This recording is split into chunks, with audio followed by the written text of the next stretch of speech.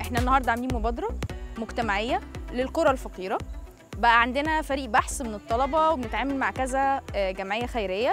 فقررنا النهارده إن إحنا نروح آه، منشأة الأمراء في أهناسيا بني سويف. النهارده تجربة جديدة لأن إحنا ابتدينا ندخل في مناطق مختلفة و... و...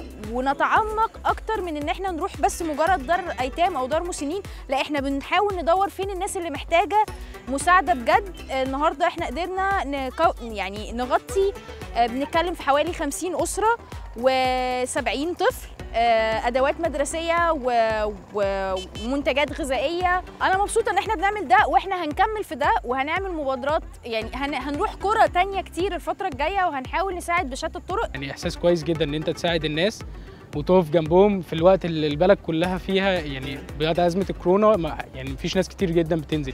فدي حاجة كويسة جدا إن إحنا ننزل ونساعد الناس. جامعة إدارة الجامعة والاتحاد مشكورين وفروا لنا النهاردة مواد غذائية ومستلزمات مدرسية وصحية لخدمة أغلب ق- أسر القرية. انبسطنا جدا معاهم وشاركنا مع الأطفال آه، بأنشطة آه، ممكن نقول رياضية رسمنا معاهم لونا وغنينا وفرحنا وتصورنا كتير.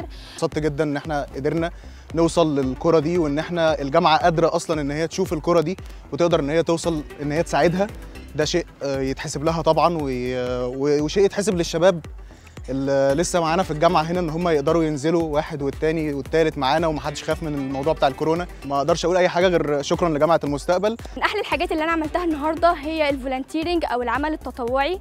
من أمتع الحاجات لأنك بتعمل الخير بإيديك وبتشوف فرحة الناس قدامك. آه وطبعا آه، أنا ما كنتش هعرف أعمل كل ده من غير آه الجامعة بتاعتي وبجد آه أتمنى إن أنا أنزل أشارك في الحاجات دي كتير.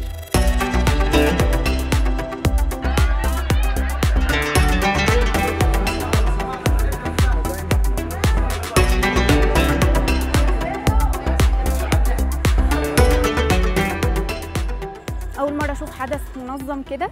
وبصراحة الجامعة وفرت يعني كافة الخدمات لقرى وأسر تفتقر لكافة الخدمات وال- الإنسانية والمدرسية. التجربة دي فادتني إن أنا آه، آه، أفضل دايما مداومة على الأعمال التطوعية. يعني الجامعة آه، فضلت مداومة على ده برغم من ظهور الكورونا ووجود الكورونا وكده.